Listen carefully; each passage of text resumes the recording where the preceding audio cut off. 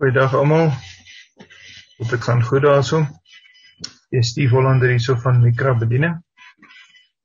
En ehm uh, ja. Dis welkom om met te kontak. Ons is voltydse sendelinge al van einde 2019. En as jy ehm um, wil belangstel, ons ek het 'n blok 'n blok ehm um, geskep waar jy ons kan volg uh en kyk waar ons ook al was en wat ons gedoen het um, en ons journey bietjie bietjie meer in diepte kan sien.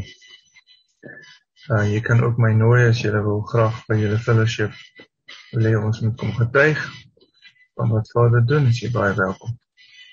Um ons kom 'n bietjie kyk na die week se se skrifgedeeltes. En uh hierdie week se skrifgedeelte vir die week is Zot ha baraka wat basies beteken dit is die seën. En die skrifgedeeltes kom uit uh, Deuteronomium 33. So ons gaan ons gaan daarna kyk. Maar kom ons bid net eers saam en ons vra ons Vader dat hy vir ons sy wet en sy woord oopbreek. Psalm 119 vers 18 is 'n gebed wat die psalmskrywer ehm, gesig gebid het. Open my oë o Vader dat ek kan sien die wonders uit u wet, uit u woord, die Torah. Die instruksies. En dan in Lukas 24 vers 45 dan bid ons ook Vader open ook ons verstand om die skrifte te kan verstaan. En dankie dat U ons verstand open nou en dan ook ons ore om te kan hoor. In Jesaja 50 vers 4 sê hy: Ehm um, hy werk my oor om te hoor. Dankie Vader, U het my ore geopen en ek was nie weer strewig nie, ek het nie agteruit gewyk nie. Ek wil die woord hoor en ek wil die woord ontvang in Jesus se kosbare naam. Amen. So uh, Jeremia 15 vers 16 dan is dit ehm um, waar Jeremia 'n verklaring doen en ons sê dit vir ons Vader ons sê toe ehm um, u woorde gevind is het ek dit opgeëet en die woord was my vreugde en vrolikheid vir my hart. En mag Vader se woord vir jou vreugde en vrolikheid wees vir jou hart en mag jy dit opeet mag jy sy woorde vind. Nou kom ons ehm um, uh, kyk na Psalm 95. Dit is baie belangrik. Dit is 'n wapen wat ehm uh, wat ons het om om lofgesange te doen.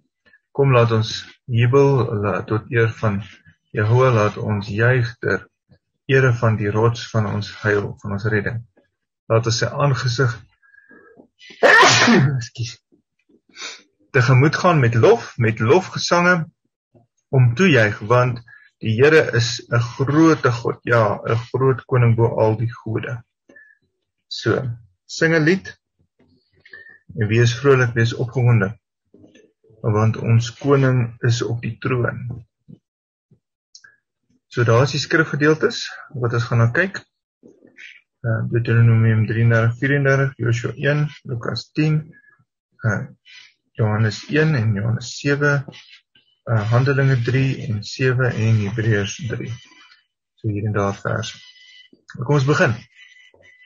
Deuteronomium 33 en dit is die seën. So dit is daai uh dis dis die skrifgedeelte se titel waarmee Moses uh op uh, op skrif die man van God die kinders van Israel geseën het voor sy dood. Hy het gesê: "Die Here kom van Sinai vir hulle opgegaan van seer af. Hy het ligglans verskyn eh van die gebergte Paran en gekom van die heilige 10000 af, né? Ehm um, 10000. Nou hierdie is die skrif wat baie ouens ehm um, sê dat dit uh, in in in uh, die boek van uh, die brief aan aan aan Judas, Jude. Ehm um, so dit is uh, vers, verwysing na daai en sy regterhand was vlammende vuur vir hulle en ehm um, ek het al die skrifverwysings vir jou in hakies as jy 'n bietjie weer in diepte wil gaan ingaan daar. Dan sê hy ja, hy het die stamme lief al sy heiliges. Hulle is in u hand en hulle is gelaar by u voet. Elkeen ontvang iets van die uitsprake. Moses het ons die wet beveel, 'n besitting vir die vergadering van Jakob.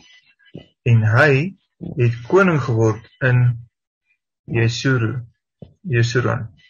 Toe die hoofde van die volk vergader het, die stamme van Israel almal saam was.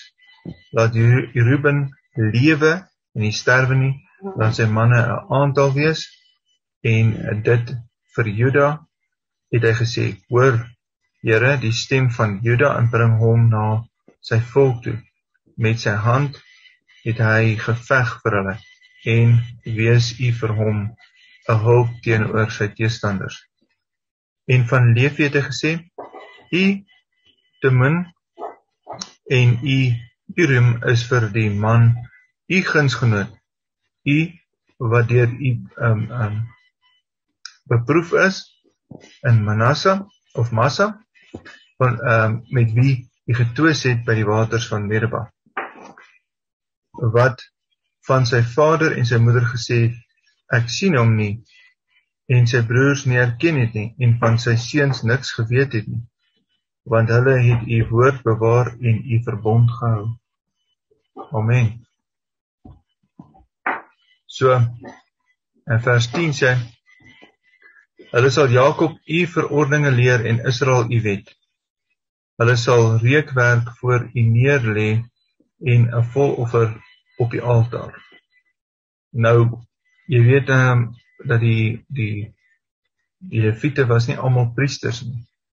Um dit was mos maar net die die seun van Aaron wat die priesters was en die hoofpriester was onder hulle. Um so die res het maar um reg deur die land gegaan en hulle was versprei en verstrooi onder al die stamme sodat hulle hulle kan leer die woord en die insitting van die woord. Vers 11 sê seën Here sy krag en laat die werk van sy hande u welgevallig wees. Verpleister die lendinge van die wat teen hom opstaan en hom haat, sodat hulle nie opstaan nie. Want Benjamin het gesê die beminde van die Here, hy sal veilig by hom woon. Hy beskerm hom die hele dag en woon tussen sy berggange. En um, van Josef het hy gesê geseënd deur die Here is sy land met die kostelikste gawes gawe van hemel met dou en met wêreldvloed wat onder lê en met die kostelike voorbrengsels uh, van die son en met die kostelike gewasse van die maan.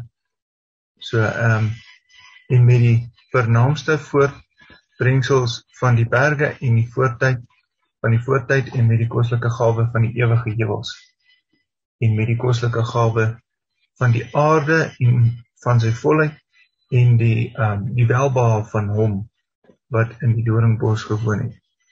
So jy kan sien dat daar daar's letterlike kostelike gawes wat ehm um, oral is wat wat vir ons kan wees. Uh van die berge, van die son, van die maan, ehm um, die ewige heuwels. Uh ja, so dit ehm um, van die aarde van sy volheid. Ehm um, ja, so dit is dis nogal kosbaar as mens mens besef daar's baie goed wat ons in die woord lees uh wat ons nie altyd verstaan nie, maar ons kan vir Vader vra dat hy vir ons dit oopbreek. Ehm um, en die welbehae van hom wat in die doringbos gewoon het, uh laat dit kom op die hoof van Josef en op die hoofskedel van die vors onder sy broers. Sy eersgebore gebore siete stuur heerlikheid is syne en sy horings is buffelhorings daarmee sal hy die volke stoot die eindes van die aarde saam en dit is die 10 duisende van Ephraim en dit is die duisende van Manasse en van Sibelon en so Sibelon se blessing ook Ehm um, verheug jou Sibelon oor jou togte en Issachar oor jou tente. Hulle sal volke na die berg roep, daar sal hulle offers en geregtigheid van geregtigheid offer want hulle sal die oorvloed van die see insuig en die verborgenste skatte van die sand. En van uh, Gad het hy gesê geseënd is hy wat vir Gad ruimte maak. Hy gaan lê soos 'n leeu en verskeer die arm ja die hoofskedel en hy het vir hom 'n eers eersteling aandeel uh, uitgekies want daar was die deel van 'n veldheer bewaar en hy het gekom na die hoofde van die volk hy het geregtigheid van die Here uitgevoer en sy verordeninge met Israel. Want dan het hy gesê dan is soos 'n jong leeu wat van Basaan uitspring en van Naftali het hy gesê Naftali versadig gelukkig uh, geluk en vol van die seun van Jahoua neem jou see ja, neem jy see en suidland in besit. En van Asser het hy gesê geseënd is Asser bo die seuns laat hy die liefling van sy broers wees die een wat sy voet in olie insteek. Nou want daar is ons olyfbome en hulle het ehm um, so Asser het nogal baie met die olyfbome ook. Die olie wat hulle voortgebring het. Mag jou grendel yster en koper wees en jou sterkte soos jou dae. Niemand is daar soos God o Jesuro wat oor die hemel ry as jou hulp en oor die wolke in sy hoogheid.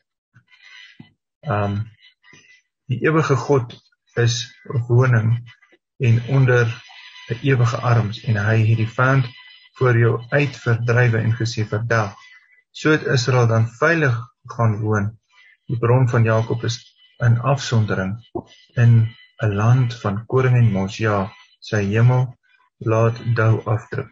Daglik salig is jy oor Israel.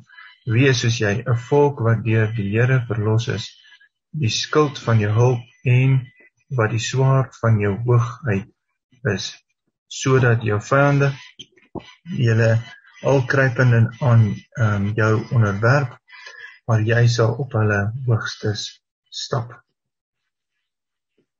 OK, volgende een is Deuteronomium 34. Toe het Moses opgeklim uit die vlaktes van Moab na die berg Nebo, top van Pisga wat teenoor Jerigo lê. En die Here het hom die hele land, Gilead tot uh, Dan toe laat sien, die hele Naphtali, die land Ephraim, Manasse en die hele land Juda tot by die westelike see en die suidland en Jordaanstreek, die laagte van Jerigo, die Palmstad tot by Sior. Ehm um, Sior en ehm um, die Here het vir hom gesê, dit is die land wat ek aan Abraham, Isak en Jakob met 'n eed beloof het met die woorde aan jou nageslag sal ek dit gee. En ek het jou dit met jou oë laat sien, maar jy sal daarin nie oortrek nie. Toe het Moses die knegg van die Here daar gesterwe in die land Moab volgens die bevel van Here en hy het hom in die dal in die land Moab teenoor Bet Bet Peor begrawe. En uh, niemand het tot vandag toe uh, sy graf geken nie. En as jy gaan lees in Judas vers 9, dan wys dit ook daar waar uh, die engel Michael het mos met um die duiwel uh uh jy weet onder ons gehad oor die liggaam van Moses en toe het Michael mos net vir die Satan gesê Jehovah straf jou Satan. En Moses was 120 jaar oud toe hy gesterf het. Sy oog was nie verswak nie en sy krag nie vergaan nie. Toe het die kinders van Israel Moses beween in die vlaktes van Moab 30 dae lank en die dae van ehm um, die geween van die rou van Moses het ten einde gekom. En uh dit was nogal 'n geween vir 30 dae. En Joshua die seun van Nun was vol van die gees van wysheid. Um want Moses het hom die hande opgelê. Die kinders van Israel het hom geluister en gedoen soos die Here Moses beveel het. Jesus um een van die verwysings dat um hulle alreeds vol dat iemand kon vol wees van die Heilige Gees, vol van die Gees van wysheid. Ehm um, en soos Moses vir wie die Here van aangesig tot aangesig geken het, het daar geen profeet meer in Israel opgestaan nie. En uh, wat betref al die tekens en die wonders wat die Here hom laat uh, opgedra het om in Egipte land te doen aan Farao en aan sy dienaars en sy hele land te doen. En wat betref die hele magsopenbaring en al die groot skrikwekkende dade wat Moses voor die oë van die hele Israel gedoen het. En as jy nou jou uh, Bybel gaan lees, dan sal jy sien ehm um, dat daar daar weer 'n tyd kom waar ehm um, die Vader beloof het dat hy ons die gelowiges ehm um, die kerk Israel gaan uitlei uit al die volke ehm um, en weer terugvat na die beloofde land. En dit hulle noem dit die Greater Exodus. As jy bietjie meer inligting oor dit wil hê, kan jy my kontak en kan ek vir die skrifte daar um, stuur. En ehm um, die ehm um, die leringe wat daar uh, wat daarop gedui is. En ehm um, dit is belangrik want dit uh, sluit baie nou aan met die 144000 en uh, waar hulle ehm um, want dit is 12000 het elke stam as jy gaan lees in op in die boek van Openbaring en die tye wat ons nou is en ehm um, ja ons sal met liefde vir jou meer inligting daaroor gee. So ja, dit is ehm um, dit is basies uh, Deuteronomium wat ons nou klaar is.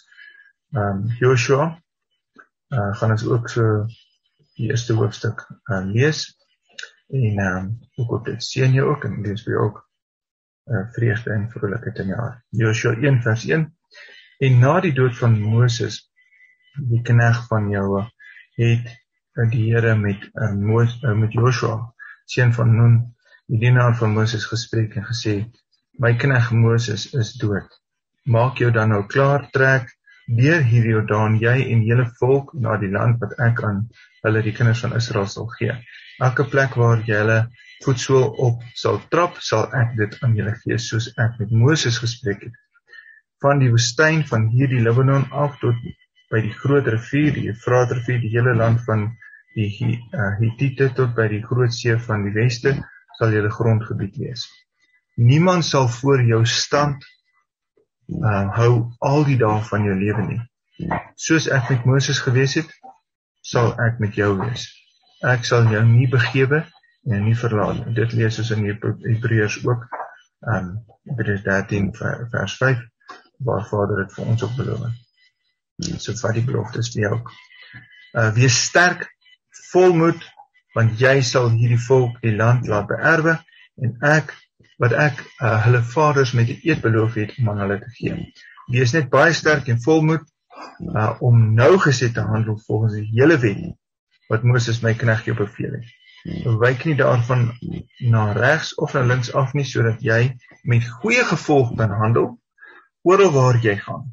sien julle uh, hoe belangrik dit is um, dat ons Vader se hele woord moet doen en daarop let um, en seker maak dat dit nie afwyk nie want dan gaan jy met goeie gevolg handel en uh oral waar jy gaan. Um, en hierdie wetboek um mag nie uit jou mond wyk nie. Dit beteken jy moet heeltyd daaroor praat. Praat met jou vrou, praat met jou kinders. Um praat met jou man. Uh, my suster. En um jy weet deel die woord. Um met jou kinders. Ehm um, dis baie belangrik dat dit dat hulle hierdie nou hy sê bepeins dit dag en nag sy woord uh sodat jy nou gesed kan handel volgens alles wat daarin geskryf staan. Want dan sal jy in al jou weë voorspoedig wees en dan sal jy met goeie gevolg kan handel. Sodat uh, dit is dis eintlik so logies maar mense besef dit nie. Wanneer jy sy woord lees dan kry jy sy wysheid en jy um, kan reg handel dan goeie gevolg. Uh het ek jou nie bevel of beveel ge, uh, nie wees sterk en volmoed, wees nie bevrees of verskrik nie want Jehovah jou God is met jou oral waar jy heen gaan. Toe het Joshua aan die opsigters van die volk bevel gegee en gesê: "Gaan die laar deur en gee die volk bevel en sê: Maak vir julle padkos bymekaar of klaar, want oor 3 dae sal julle deur hierdie Jordaan trek om die land in besit te uh, gaan neem wat die Here julle God aan julle gegee het om dit in besit te neem. En aan die Rubenite en die uh Gadiete Um en die halwe stam van Manasse het Joshua gesê: "Dink aan die saak wat Moses die knegt van die Here julle beveel het toe julle um, hy gesê het: Die Here uh julle God verskaf 'n rusplek aan julle en sal hierdie land aan julle gee. Julle vroue en julle kinders en julle vee kan bly in die land wat Moses julle oos van Jordaan gegee het, maar julle self al die dapper helde moet gewapen voor julle broers neertrek en hulle help totdat die Here aan julle broers soos aan julle rus gee en julle ook die land in besit neem wat die Here julle God aan julle sal gee dan kan julle teruggaan na die land van julle besitting wat Moses die knegt van die Here julle gegee het oos van Jordaan teen sonop en dit in besit neem. Amen. Toe het hulle Moses geantwoord en gesê alles wat u ons beveel uh het sal ons doen en oral waarheen u ons uh, stuur sal ons gaan. Net soos ons na Moses geluister het so sal ons na u luister. Mag die Here u God u net met u um, net met u wees soos hy met Moses gewees het. Elke man uh, wat teen u bevel weerstrewig is en nie na u woorde nie uh, nie na u woorde luister nie met betrekking tot alles wat U ons beveel beveel moet gedood word. Wees net sterk en volmoed. Amen.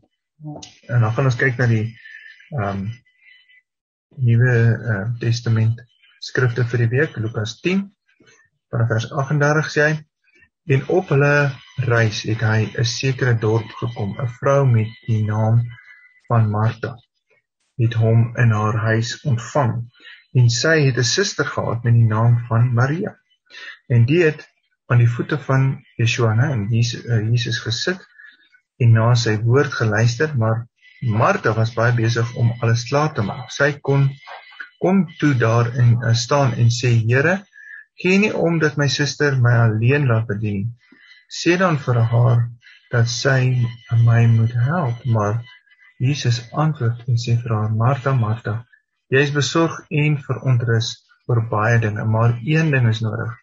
En Maria het die goeie deel uitgekies wat van haar nie weggevat sal word nie. Weggeneem sal word nie. So dit is belangrik dat ons dat jy daai tyd het met uh, ons meester Yeshua, die Messias. Ehm um, en dat jy by sy voete sit en luister na wat hy vir jou beveel gee.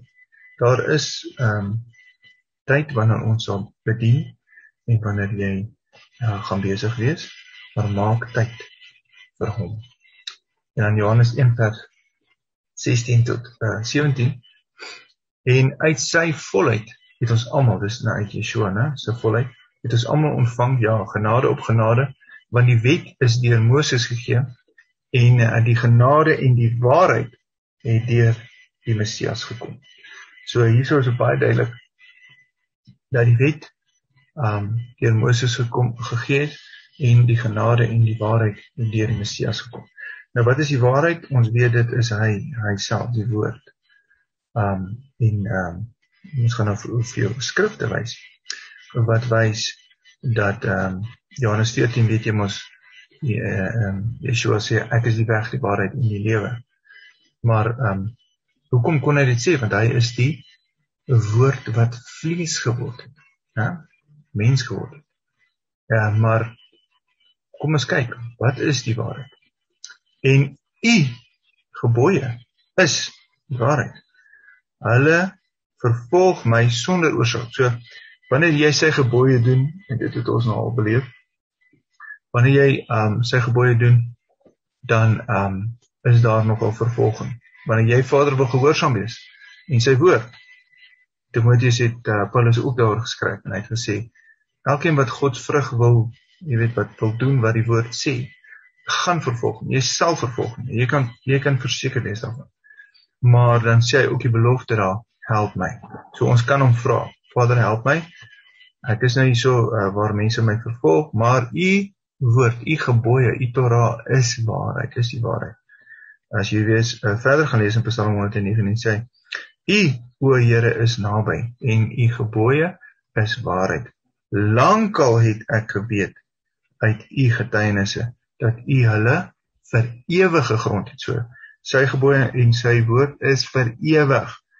Ehm um, die van julle wat dink dat dit verby is, weet nie of ehm um, jou dominee of jou pastoor vir jou gesê het uh, nee die woord is verby nee die wet is verby nee is dis dis klaar jy hoef niks meer te worry daaroor dis 'n leuen moenie dat die duiwel vir jou jok nie uh, want 1 Johannes 2 vers 4 sê hy wat sê ek ken hom en sy gebooie nie bewaar nie is 'n leienaar en in hom is die waarheid nie. Dit is baie duidelik hierso dat ehm um,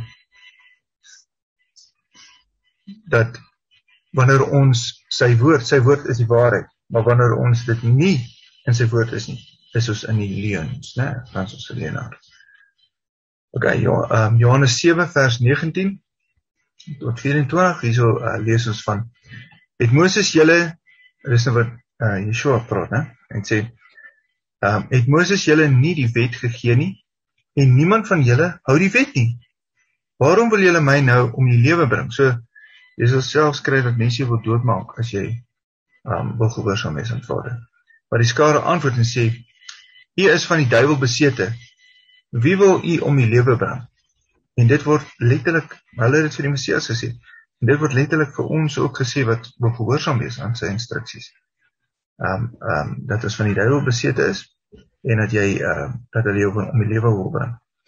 Um maar Yeshua antwoord en sê vir hulle: Een werk het ek gedoen en julle verwonder julle almal. Daarom het Moses julle die besnydenis gegee. Nie dat dit van Moses is nie. So dis nie dis nie net uit die wet uit nie. Um want dit is lank al voor dit dit is van die vaders. Abraham het dit al gekry en Isak en Jakob en later het Moses dit net neergeskryf op ons. En op die Sabbat besny julle 'n mens. Onthou hulle moet dit mos op die 8ste dag doen. So dit beteken dan basies dat op uh, Sabbat gaan daar ook mense besny word. As 'n mens da, die besnydenis op die Sabbat ontvang, sodat die wet van Moses nie verbreek mag word nie. Sê baie duidelik hierso dat hierso sê Messias dat die wet van Moses mag nie verbreek word nie. Nou maar as as uh, julle dan vir iemand besny op die Sabbat, hoekom is julle dan kwaad vir my omdat ek 'n mens op die Sabbat geheel en al gesond gemaak het? Ehm um, want hulle omdat hulle het kwaad geword vir hom omdat hy iemand gesond gemaak het op die Sabbat. Maar jy mag goed doen op die Sabbat. Maar dit is 'n dag van rus. En um, as jy meer inligting wil hê oor die feeste of oor Sabbat, is welkom om my te kontak. Ons kan vir jou um, 'n bietjie leringe daaroor gee en alles. Um, ons is nou uh in in laasweek dit is nou klaar gemaak met die fees van trompette uh en dit is die laaste fees gewees vir die jaar. Um en dan volgende jaar begin ons weer met die Pasga. OK, vir Pesach. Um en um as jy meer inligting oor dit wil hê of jy wil graag by ons inskakel, as jy nie uh in Bloemfontein is nie, is jy welkom om vir my uh te kontak en vir my te vra dat ons kan um dat jy kan inskakel via Zoom. Ons kan dit reël uh sodat jy nie uitmis nie. OK, baie seën vir jou. So dan sê hy so omdat hy op iemand op die Sabbat gesond het, nou wil hulle hom veroordeel. Dan sê hy moenie oordeel volgens wat jy sien nie, maar oordeel regverdig oordeel. Dis baie belangrik. Handelinge 3 vers 22. Want Moses het tot die vaders gespreek en die Here, julle God, sal vir julle um die Here julle God sal vir julle 'n profeet verwek uit julle broers net soos ek is. Nou hom moet julle luister volgens alles wat met julle wat hy met julle sal spreek.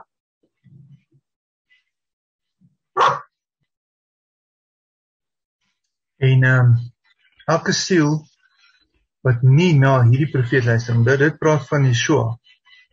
Ehm um, Hierso is is is is basies uit Deuteronomium 18 wat hierdie profesie profesie gekom het. Ehm um, dat daar gaan 'n profeet verwek word um uit julle broers en na hom moet julle luister volgens alles wat hy vir julle sê en elke uh, siel wat nie na hierdie profeet sal luister nie sal hy die volk uitgeroei word en dit praat van Yeshua die Messias wat kom. As jy gaan lees Handelinge 7 vers 37 praat hy ook dit is die Moses wat aan die kinders van Israel gesê het die Here, julle God sal vir julle 'n profeet verwek uit julle broers net soos ek is. Na hom moet julle luister. Julle moet luister. Nou wat is een van die goed wat uh die Messias gesê het? Kom ons kyk. Matteus 5 vers 17. Moenie dink dat ek gekom het om die wet of die profete te ontbind nie. Ek het nie gekom om die wet of die profete te ontbind nie, maar om dit te vervul. Daai daai woord beteken basies om dit volledig te preek en te demonstreer sodat julle ook kan weet hoe om dit te doen. Want voorwaar ek sê vir julle, hoor wat sê. Voordat die hemel en die aarde verbygaan, sal nie een jota of een titeltjie van die wet ooit verbygaan totdat alles gebeur het nie. Elkeen dus wat een van die minste van hierdie gebooie breek en die mense so leer, sal die minste genoem word in die koninkryk van die hemele. Maar elkeen wat dit doen en leer, hy sal groot genoem word in die koninkryk van die hemel. So dis baie duidelik. Ehm um, hy's baie duidelik daaroor dat jy moenie eers die minste van hierdie gebooie breek en mense so leer nie. Ekskuus.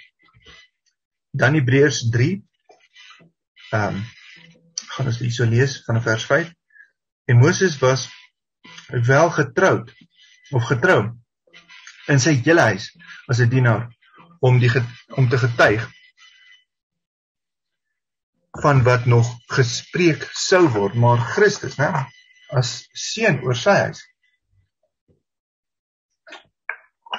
en ons is sy huis as ons net die vermoedigheid en die roem en die hoop van die hoop tot die einde toe ontwrikbaar vashou daarom soos die Heilige Gees spreek vandag as jy sy stem hoor verhard julle hart nie soos in die verbittering bittering in die dag van versoeking in die woestyn nie.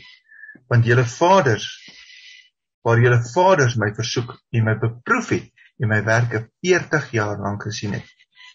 Daarom het ek vertoring geword op daardie geslag en gesê hulle altyd dwaal hulle met die hart maar hulle het my weer nie ge geleer ken nie So wat is sy weet? Dit is sy woord, sy Torah. Sodat ek in my toring gesweer het, hulle sal in my rus nie ingaan nie. Sorg daarvoor dan, hè? Sorg daarvoor broers dat daar nie miskien in een van julle 'n bose en ongelowige hart is daar uh, deurdat hy van die lewende God afvallig word. Baie belangrik.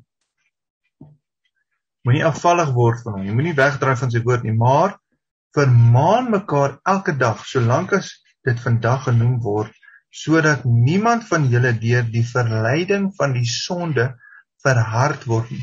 Wat is sonde? Die woord sê die oortreding van die wet is sonde. Sonde is die oortreding van die wet. So ons moenie die wet verder oortree nie. Ons moet volhard om dit te gehoorsaam. Dan Openbaring 14. Ons gaan lees vanaf vers 6 jy En ek het 'n ander engel in die middel van die lug sien vlieg met 'n ewige evangelie om te verkondig aan die bewoners van die aarde en alle aan alle nasies en stamme en tale en volke.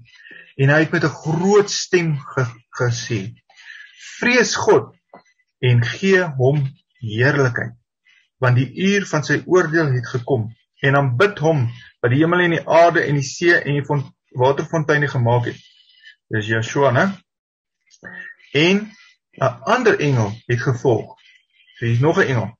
Geval, geval het Babylon, die groot stad, omdat sy al die nasies laat drink het van die wyn van die grimmigheid van haar hoerery. Dis baie belangrik hierdie. As jy nog nie uit Babylon uitkom nie, is baie belangrik dat jy uit Babylon uitkom. As jy bietjie meer inligting oor dit wil hê, stuur vir my 'n WhatsApp. Stuur vir my 'n WhatsApp en vra vir my hoe kom ek stap vir stap uit Babylon uit? Ek sal vir jou dit met liefde die goed aanstuur. Daar is nou um ouens wat nou al redelik baie navorsing op dit gedoen het en um daar's ouens wat nou al 20, 30 jaar uit Babylon heeltemal uit die stelsel uit is. Um en basies vry is van daai. Hulle hulle hoef nie meer 'n uh, bestuurslisensies te hê nie. Hulle hoef nie meer nommerplate op hulle karre te hê nie. Ehm um, hulle hoef nie meer ehm um, titels op hulle grond te hê nie. So kontak my gerus, ek kan vir jou meer inligting daaroor gee. En ehm uh, ons vat dit van daar af. Dan as jy gaan verder lees vers 9 af, ehm um, sê en 'n derde engel, so Jesus nou by 'n derde engel, het hulle gevolg en met 'n groot stem gesê: As iemand die dier en sy beeld aanbid en 'n merk op sy uh, voorhoof of in sy hand op sy hand ontvang, sal hy self ook drink van die wyn van die grimmigheid van God wat ongemeng ingeskink is in die beker van sy toorn en hy sal gepeinig word met vuur en swaal voor die heilige engel en voor die lam en die rook van hulle pyniging gaan op tot in alle ewigheid. En hulle het dag en nag geen rus nie. Hulle wat die dier en sy beeld aanbid en elkeen wat die merk van sy naam ontvang.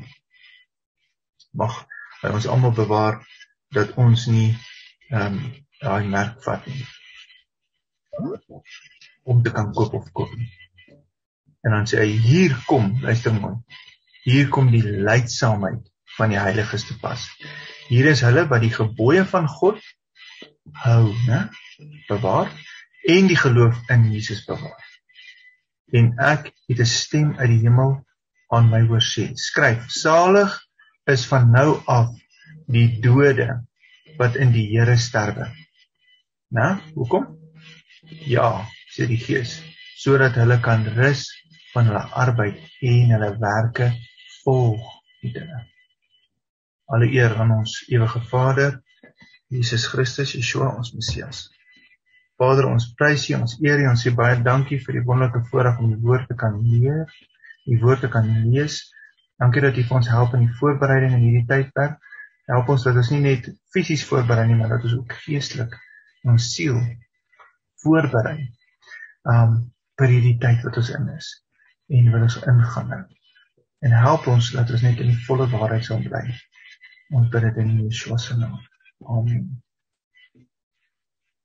Amen. Mag jy 'n geseënde tyd verder hê. Shalom.